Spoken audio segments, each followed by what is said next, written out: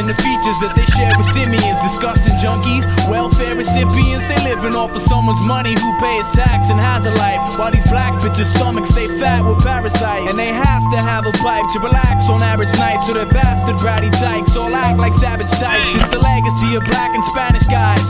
Vagrancy and general complacency of dads who have no wives.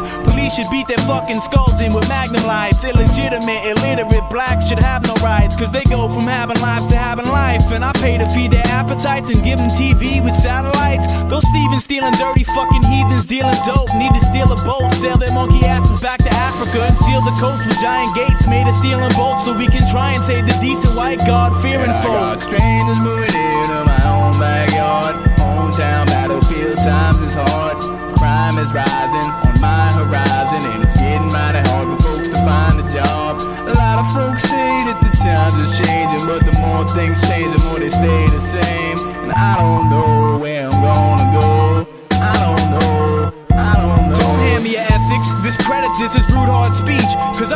I'm not anti Semitic. Jews are cheap. With every breath they're breathing through large beaks. They're telling more fibs and squeezing four kids into two car seats. What a waste of white skin, heartbeats, and faces like men. Nigga lovers who treat the beast as if the ape was like them. They killed the Savior Christ and denied that he was God's seed. It doesn't come as a surprise they meet the Nazis. I live to see the day that rabbis decree their cocks be clipped at birth. Till they ain't a Jewish dick that works. We should take care of the rich half first on Hanukkah. And smother out their breath and words with Till they turn to vomiters, choking on their manischewitz. Menorahs to the foreheads would make some handy weapons. Cause there's no room for clandestine gold blooms, blats, and bergs. We'll just wipe them off the map of And I got strangers moving into my own backyard.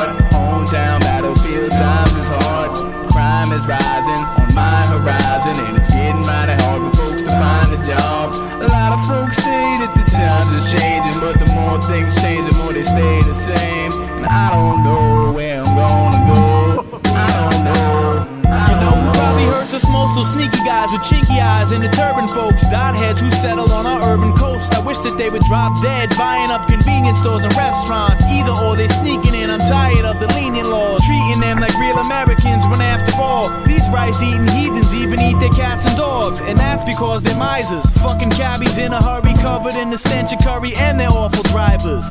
The law provides us with no means of protection, not even a weapon to stop the evil conception. And my people are threatened by the rate at which they multiply.